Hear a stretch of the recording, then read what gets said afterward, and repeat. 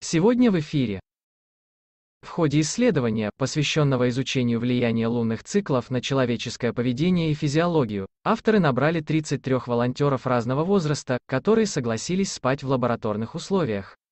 Во время сна с помощью метода электроэнцефалографии ЭЭГ осуществлялся мониторинг их мозговой активности, фиксировались движения глазных яблок, характеризующие фазы сна, а также изменения уровней гормонов мелатонина и кортизола. Сколько спать, чтобы высыпаться, узнайте здесь, в итоге была выявлена прямая связь между качеством сна и фазами Луны.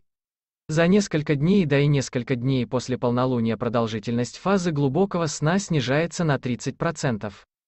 Кроме того, для того, чтобы заснуть, людям в этот период требуется в среднем на 5 минут больше, чем обычно, а общая продолжительность сна уменьшается на 20 минут. При этом уровень гормона мелатонина в крови, отвечающего за регуляцию циклов сна и бодрствования, в полнолуние снижается.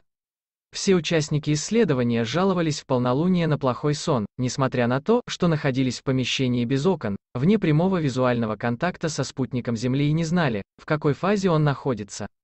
Какие проблемы со здоровьем преследуют нас ночью? Читайте здесь. Авторы работы планируют продолжить изучение изменений в активности головного мозга и физиологии, происходящих в течение 29-5-дневного лунного цикла, с тем, чтобы попробовать найти анатомическое расположение лунных биологических часов и выяснить молекулярные и невральные основы их действия, а также определить, каким образом фазы Луны влияют на умственное и психическое состояние человека.